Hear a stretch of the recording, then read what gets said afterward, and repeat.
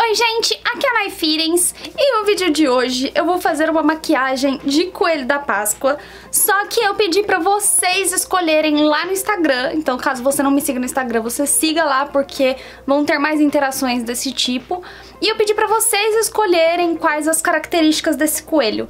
Então eu vou colocando as características aqui e vou montando pra ver no que, que isso vai dar. Vamos lá então.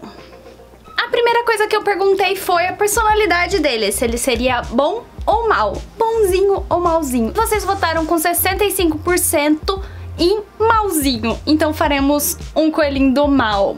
A segunda coisa que eu perguntei foi sobre se ele seria glam, de tipo glamuroso, ou gore, de tipo sanguinário. E assim, sério, ficou em 50-50%. Então, eu decidi que ao invés de desempatar por míseros, pouquíssimos números de diferença, eu vou fazer uma coisa glam e gore ao mesmo tempo. Então, teremos isso. Eu também perguntei qual seria a cor desse personagem, né, desse coelhinho, e vocês optaram por branco. Então, vamos começar a deixar esse bichinho branco. Eu vou passar uma, um tom de pele mais claro em mim, mas o branco mesmo eu vou deixar para uns efeitos especiais aqui que eu vou fazer com os pelinhos. Eu vou usar essa base aqui da Pausa para Feminites, da Bruna Tavares. E essa, esse tom aqui, ele é bem mais clarinho.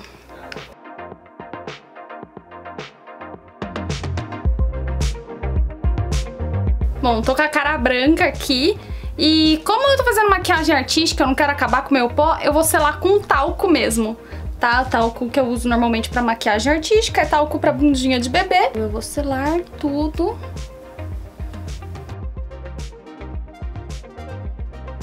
Aí pra fazer o pelo branco, branco mesmo, porque aqui eu fiz só o fundo, eu vou usar esse Aqua aqui da Color Make. E vou usar esse pincelzinho aqui, ó, já até deu uma melecada nele. Passei, molhei um pouco, porque esse produto ele é ativado com água, então eu molho bem de levinho o pincel. E vou passando assim, ó.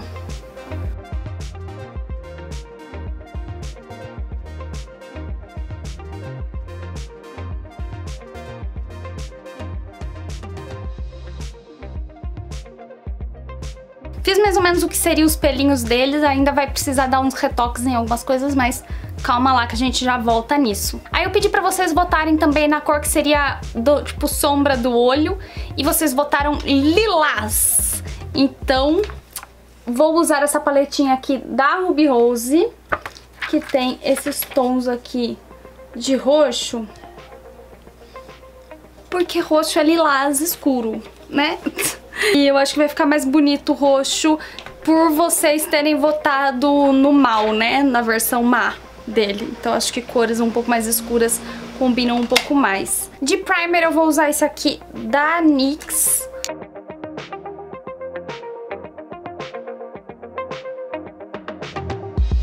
Bom, feito isso, essa base ela é em creme, né? Então ela é tipo um clown, assim.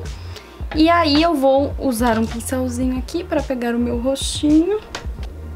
E eu vou aplicando. Eu vou fazer até aqui assim.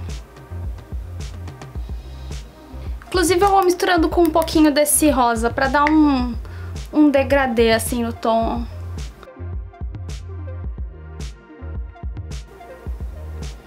Eu vou inclusive puxar um pouquinho de leve aqui pro nariz pra fazer o contorno. Por enquanto só parece que eu levei um soco no olho, né? Calma.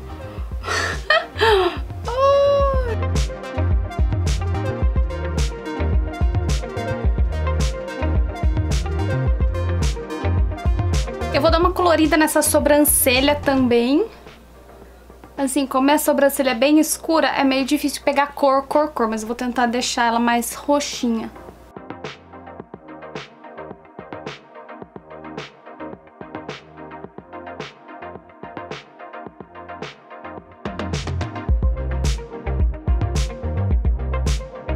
Entre esses pelinhos aqui, eu vou fazer uns roxinhos também, de como se estivesse saindo aqui de dentro do olho.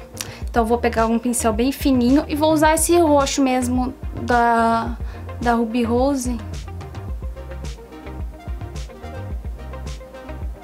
Pra mesclar com esses pelinhos aqui.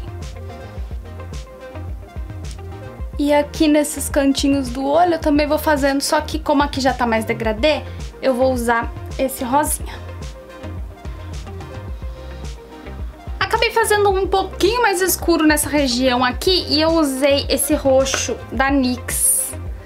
Porque não achei que estava escuro o suficiente. Calma lá que a gente vai ficar, vai ficar melhor. Eu juro que vai ficar melhor. Como eu fiz essa parte dos olhos em roxo, pra não ficar só, tipo, esse olho roxo do nada, assim, eu vou fazer um pouco do contorno em roxo também. A gente sempre começa com o mais claro e vai escurecendo depois, tá? Então, vou fazer aqui com o clarinho.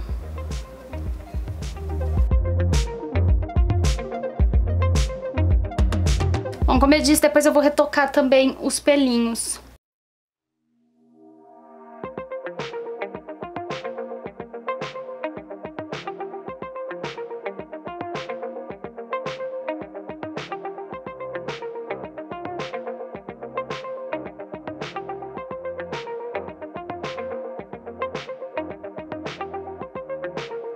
Eu fiz aqui mais rosadinha, mas eu tô passando bem de levinho com um tom mais roxo, né, desse roxinho, pra dar uma profundidade aqui dessa parte do bigodinho. Então, é bem sutil aqui, ó.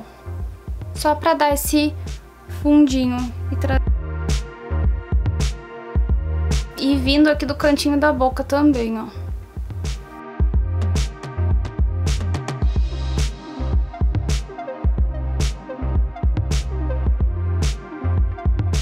Assim, ele projetou esse focinho aqui, ó. Estou focinhuda agora, entendeu? Agora que estamos assim, eu vou pegar um pincel bem fininho e vou fazer um detalhe do olho. Vou fazer o olhinho puxadinho aqui em branco. Vou fazer tipo um cut crease em branco nesse olho.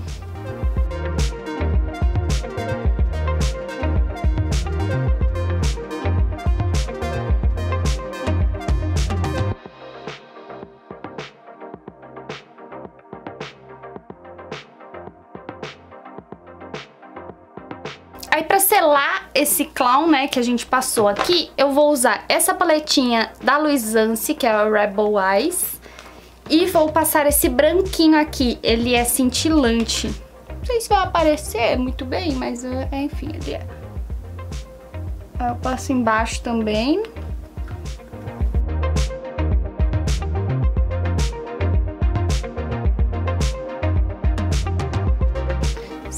Coisa que eu sei fazer é perder pincel. Onde eu botei o pincel que eu tava usando?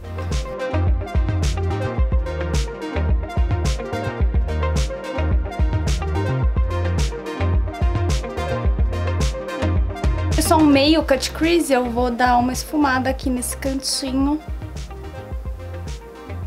Ai, gente, eu adoro fazer esse tipo de dinâmica de vocês decidirem a maquiagem, porque me faz pensar muito mais do que eu pensaria se eu fosse escolher alguma coisa que provavelmente seria mais dentro da minha zona de conforto, né? Então agradeço muito por todo mundo que participou. Vou aproveitar aqui o pincelzinho fino e vou fazer o formatinho do narizinho do coelho aqui em roxo também.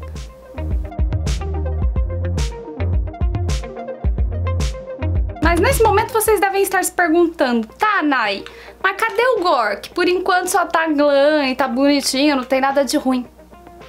Calma, pimpolho. Agora eu vou reforçar os pelinhos brancos.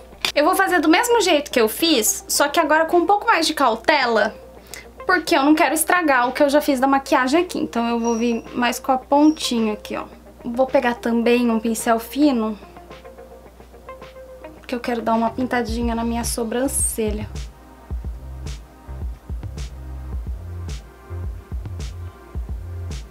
Bem pouquinho assim, ó. Uns detalhes.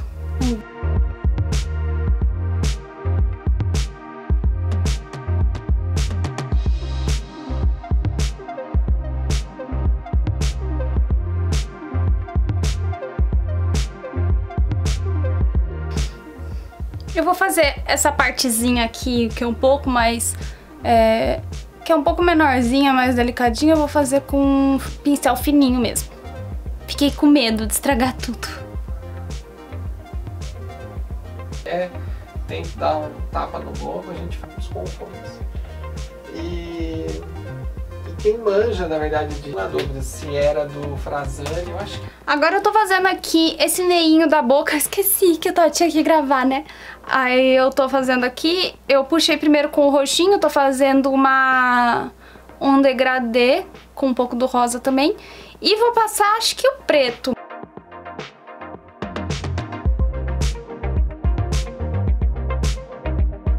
Ele é tipo o aqua desse que eu usei, branco da Color Make, só que esse é de uma marca que chama Fab.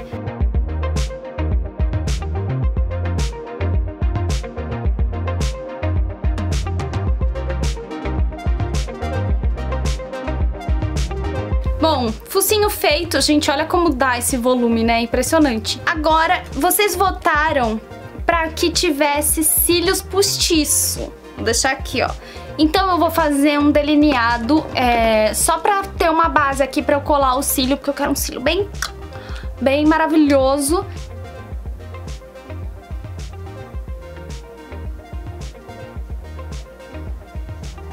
Você tem dificuldade para fazer delineado? Se você tem dificuldade, tem dúvida de qual o melhor jeito de fazer, eu tenho um vídeo aqui no canal que eu vou deixar aqui para vocês clicarem, que eu dou várias dicas sobre como que eu faço, qual delineador que eu prefiro usar, então clica aqui para ir assistir.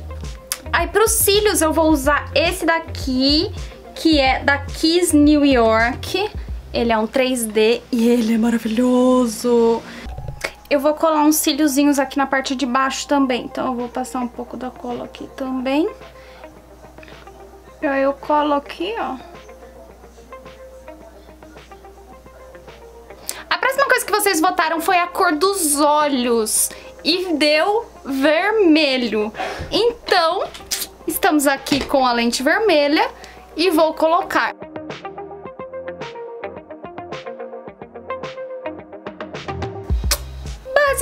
Chegamos ao final da maquiagem e vocês ainda estão se perguntando, cadê o Gore? Tá bom, gente, chegou o momento do sanguinho. Eu vou usar esse sangue falso da Slug.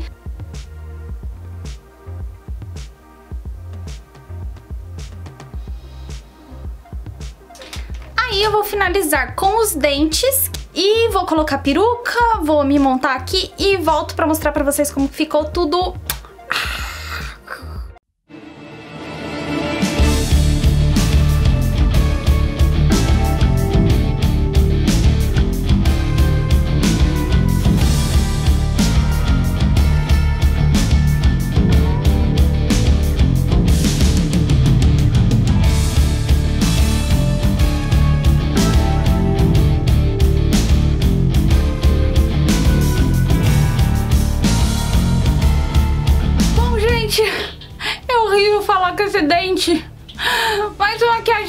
desse jeito.